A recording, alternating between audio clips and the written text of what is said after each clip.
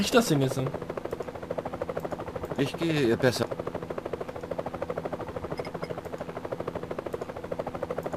Hey, ich raff das gar nicht, wie ich das anmachen soll.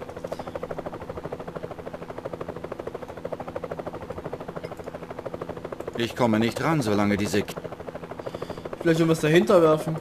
ich komme nicht ran. Ich komme nicht ran. Moment. Für jemanden, der in einem Bunker gelebt haben soll, interessiert sie der Himmel herzlich wenig. Es muss wohl erst das Klima verrückt spielen, bevor sie sich bewegt.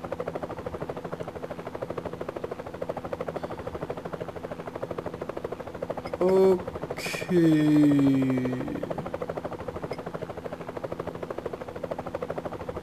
Vielleicht nimmt sie ihre Aufgabe aber auch einfach zu ernst.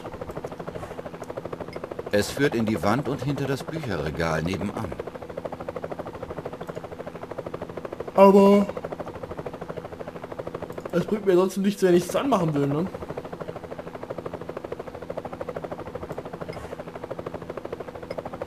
Das Diktiergerät ist jetzt direkt mit der Sprechanlage verbunden. Ja. Da kommt nichts. Das Band ist aber in Ordnung. Muss wohl am Lautsprecher liegen. Der Lautsprecher ist aus, weil wir es mitbekommen haben. Nichts als Schwachsinn. Lautsprecher? Die Anlage ist bestimmt mit dem Cockpit verbunden. Was keinen Unterschied macht, denn sie ist aus.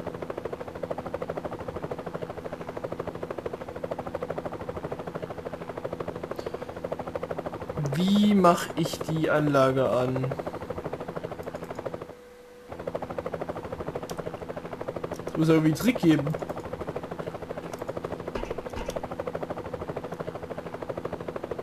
Ähm. Huch? Gitter? Wenn die Mechanik genauso verrostet ist wie dieses Gitter, dann gute Nacht. Ich sehe darunter nur Stromkabel. Da muss ich nicht ran. Okay. Larifari. Ich Oh. sehe darunter nur... Okay. Tür öffnen. Dass ich merke, wenn hinter die Tür aufgeht, ist schon ganz schön krass. Kabel ansehen. Hoffen wir mal das Beste und dass der Boden kein Feuer fängt. Hallo? Schrott. Ach, Kabel. Pipifax. Ähm, Tinnef. Ha, das führt doch zu nichts. ja, ich... Ich dachte jetzt einfach so... Kladderadatsch. Fließendes Wasser und offene Leitungen sind keine gute Idee. Findest du, findest du. Müll. Das führt doch zu nichts. Könnte so schön Strom raussaugen. Äh, Kammkreuz? Humbug. Das da vielleicht? Vielleicht sollte ich den Verpackungstext noch einmal durchlesen, bevor ich meine Hand absprenge. Oh mein Gott. Oh nein, nicht solange ich nicht muss. Besser nicht.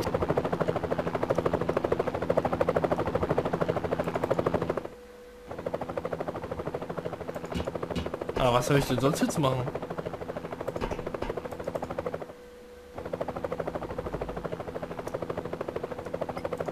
Ich komme nicht ran. Soll ich nicht lieber gleich mit dem Typ? Sie würde mich doch sofort sehen. Sie würde dich sofort sehen. Moment. Wenn ich das da dran binde. Ha, Kokolo. Es kann nur Teil der Parabolantenne sein, sonst ist da draußen nichts. Ich werde nicht mit einem elektrischen Kabel an einem fliegenden Hubschrauber entlang kraxeln. Da kann ich mich auch gleich aus dem Fenster werfen. Es kann nur Teil der... Finde ich gut. Ha, Tinnef. Warum schmeißt du wieder raus? Vielleicht sieht sie es ja und dann wundert sie sich, was das sein soll. Besser nicht. Narretei. Dieses Netzding sieht ziemlich nutzlos aus. Ich wüsste nicht, was ich damit machen soll. Ha, Tinnef. Nichts als Ramsch. Ich dachte, der macht vielleicht wieder ganz. Hoffen wir mal das Beste und dass der Boot... Oh mein Gott, ist der kompliziert. Ich lasse es besser offen, solange das Kabel hier hängt. Ich kann da unten Gott... Ich raff nicht, was der mit dem Kabel machen soll.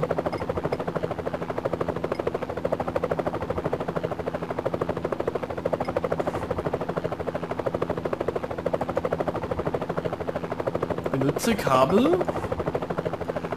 Schmeiß Besser nicht. Schrank, Schrank, Schrank. Kabel an Toilette ist auch ziemlich dumm, dumm eigentlich.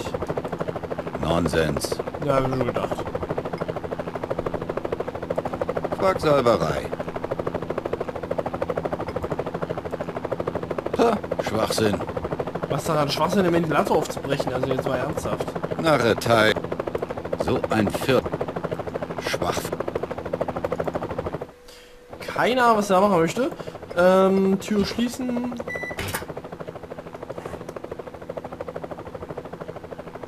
Huh.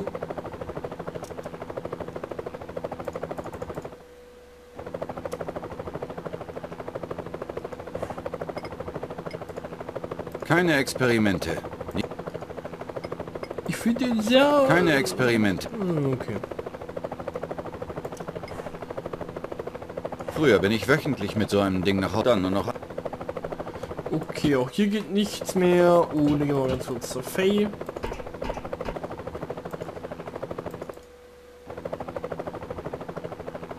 Aber wie sollten wir die Anlage ankriegen? Sind das zwei?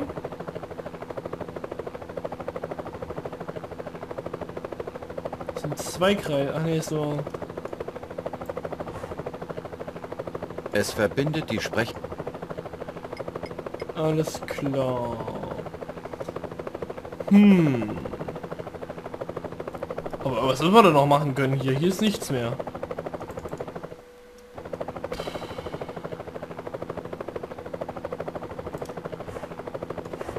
Schwedische Krimis. Das hat man schon.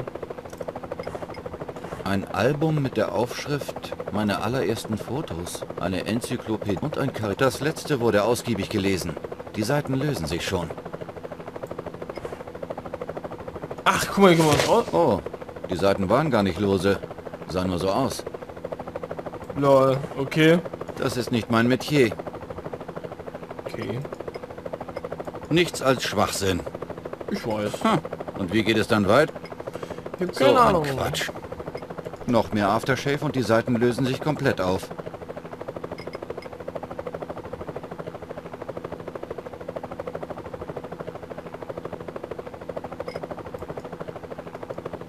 Das ist doch leicht entzündlich, oder?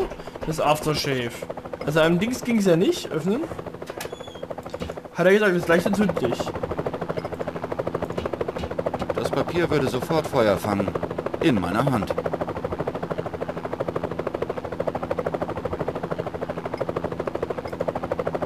Das führt doch zu nichts. Ich weiß. Es kann nur Teil der Parabol... Ach, warte mal. Mal sehen. Müsste halten. Es würde sofort Feuer fangen. Und wir sind an der Lüftung für das Ganze. Sch Oh je. Hoffentlich geht das gut.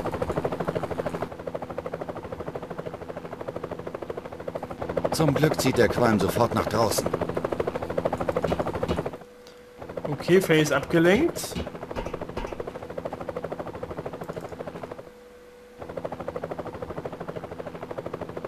Faye. Äh, Sprechanlage einschalten.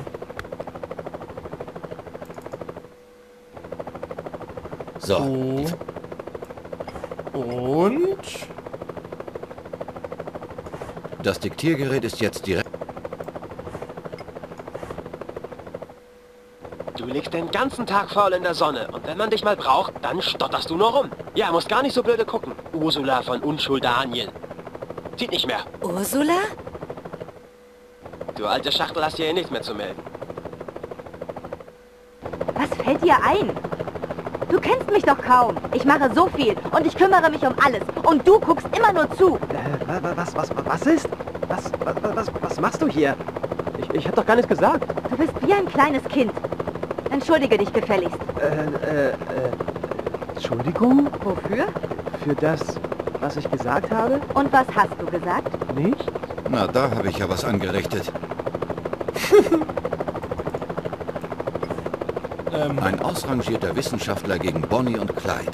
Na, das kann ja heiter werden. Ich verstehe vielleicht nicht viel von euch und eurer Zeit, aber das habe ich nicht verdient. Also hör auf, von dem Thema abzulenken und sag mir, was das sollte. Faye, Faye, Faye, Faye, Faye, Faye, Faye, die Tür! Was? Bent? Sieht so aus, als hätte sich das Blatt gewendet. Bent, lass mich raus. Ich zweifle nicht daran, dass Sie ein nobles Ziel verfolgen. Aber der Zweck heiligt nun einmal nicht die Mittel. Es tut mir leid, Bent. Ich wollte keine Gewalt. Das war Oggis Idee, aber leider wärst du ohne ihn jetzt nicht hier. Und es hängt viel davon ab, dass du jetzt hier bist. Ich habe genug von Ihren Lügengeschichten. Bent, Milliarden werden sterben. Nur du kannst etwas daran ändern. Unfug. Ein einzelner Mensch soll für die Zukunft der ganzen Menschheit verantwortlich sein? Jeder Einzelne und du besonders. Bitte. Lass mich dir zu Ende erzählen. Der Rest spielt auch nicht mehr in der Zukunft, sondern hier in Norwegen. Vielleicht fällt es dir da leichter, mir zu glauben. Ich würde ja gerne daran glauben, dass meine Alge eines Tages die Welt antreibt. Aber in Ihre Hände werde ich sie garantiert nicht mehr geben. Sie haben mein Vertrauen verspielt. Aber was soll dann mit ihr geschehen? Ich bin die Einzige, die noch an deine Arbeit glaubt. Nicht einmal du tust es noch. Es reicht. Der Spaß hat ein Ende. Faye, pass mal auf, ich helfe dir. Warte. Eins, zwei, drei. Wir hätten das wie erwachsene Menschen klären können. Aber Sie lassen mir keine andere Wahl. Oh, ich werde Ihnen niemals... Oh, Ich sag's dir, der alte Zyniker, der macht's nicht mehr lang. er hat recht. Der alte Zyniker macht's nicht mehr lang. Zeit für Plan B.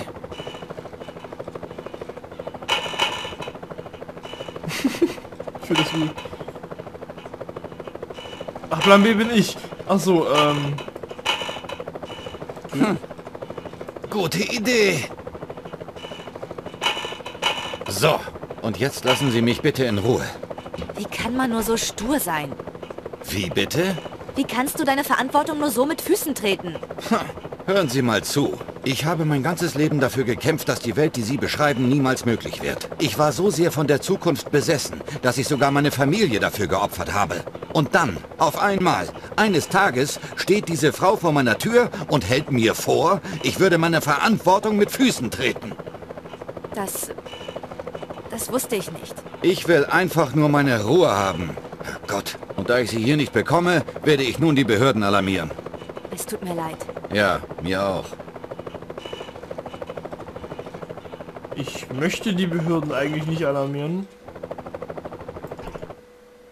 Aber...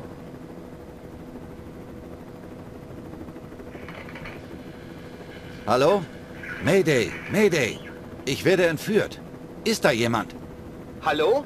Ich kann dich hören. Wer ist denn da? Mein Name ist Ben Svensson. Ich werde von Verrückten festgehalten. Svensson? Ja, ich bin an Bord eines Helikopters. Keine Ahnung, was die vorhaben. Sie kamen einfach in mein Haus, haben mir irgendwelche Märchen erzählt. Und dann haben sie mich ausgenockt. Ich werde entführt, verdammt. Hören Sie! Hallo, sind Sie noch da? Ja, ich bin noch da. Schalt den Monitor ein. Was?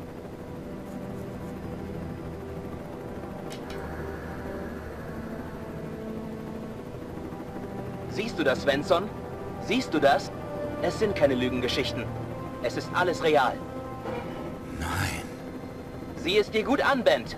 Das hier ist eure Zukunft. Nein, ihr Heuchler, Schwindler, verfluchte Bande, ich werde euch...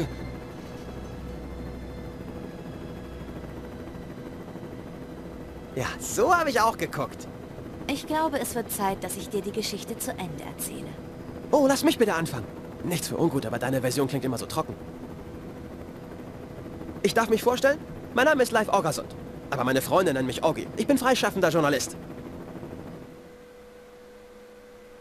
Ich arbeitete an meiner Vorortreportage über die Demonstration vor der Zentrale der Energieaufsichtsbehörde. Ich saß gleich dort vorne am Schnittplatz, als es passierte.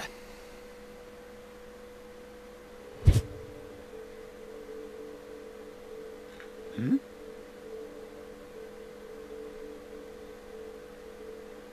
Ist da jemand?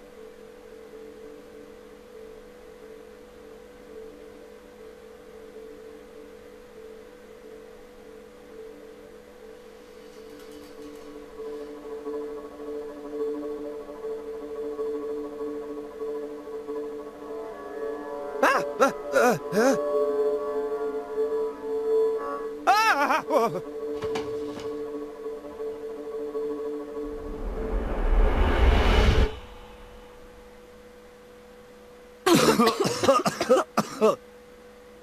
Wir sind da.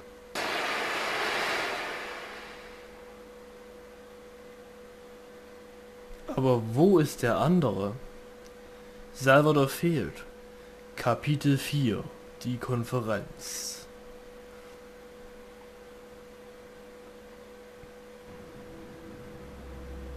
Sie hat es tatsächlich geschafft. Funker Fay hat den Phoenix-Plan sabotiert. Boah, ist mir schlecht. Reiß dich zusammen. Was... Was machen die Menschen da? Sag du es mir. Du bist doch die Spezialistin. Sieht so aus, als ob sie auch wegen der Konferenz hier sind. Sie werden nichts erreichen, wenn sie nur rumstehen und ihre Plakate schwenken. Deswegen sind wir doch erst in diese Zeit zurückgesprungen. Weil die Menschen nur geredet und nicht gehandelt haben. Das ist nicht fair, Salvador. Sie wissen nicht, was wir wissen. Dass ihnen nur noch eine Woche bleibt bis zu dem Unfall im Indes-Kraftwerk. Und was die Folgen sein werden. Wenn ich es nur irgendwie schaffen könnte, auf die Konferenz zu kommen und sie überzeugen könnte, das Kraftwerk abzuschalten. Glaubst du wirklich, dass sie dir überhaupt zuhören werden? Ich... ich weiß es nicht. Ich hoffe es. Dann hoffe ich, dass du mit Druck umgehen kannst. Du weißt, was auf dem Spiel steht. Oh je. Und wieder sind wir Faye. Aber das, meine lieben Freunde, erst in der nächsten Aufnahme, denn hier ist erst einmal eine kleine Pause. Und wir sind schon wieder in die Vergangenheit gereist. Also wir sind in der Vergangenheit, die gerade erzählt wird. Mal schauen, wann wir dann in der Gegenwart endlich richtig loslegen. Ich bin schon gespannt drauf, aber alles erst in der nächsten Folge. Oder Aufnahme. Adios. Tschüss. Ja, nicht so ungeduldig, Fräulein. Ne?